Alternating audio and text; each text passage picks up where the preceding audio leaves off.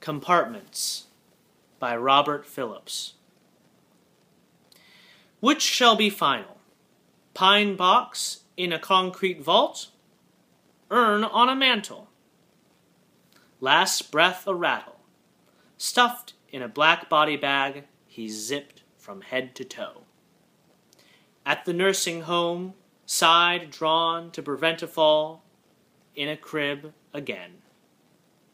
His dead wife's false teeth underfoot in their bedroom feel the piercing chill. Pink flamingo lawn, a Florida trailer park. One space he'll avoid. The box they gave him on retirement held a watch that measures decades.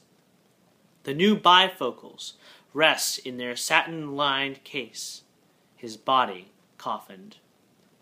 Move to the suburbs. Crowded train at 7.02. Empty head at night. New playpen, new crib, can't compete with the newness of the newborn child. Oak four poster bed, inherited from family. Jack Frost defrosted. Once he was pink slipped. Dad helped out. A son's a son, son, from womb to tomb.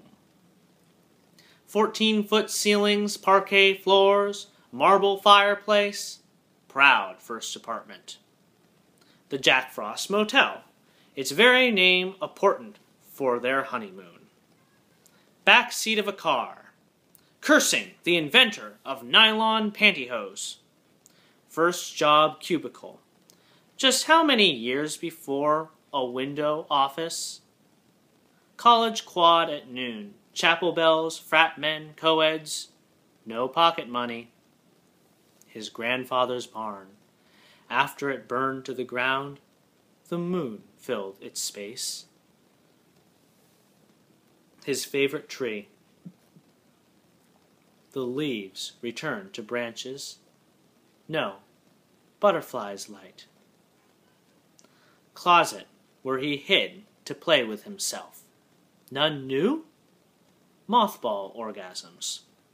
Chimney that he scaled naked to sweep for his dad, Blake's soot black urchin. The town swimming pool instructor, throwing him in again and again. Kindergarten playground, swings, slides, rings, jungle gym, scraped knees, molester. Red, blue, and green birds mobilize over his crib, its sides a tall fence. Two months premature, he incubates by light bulbs, like a baby chick. He is impatient, curled in fetal position, floating in darkness.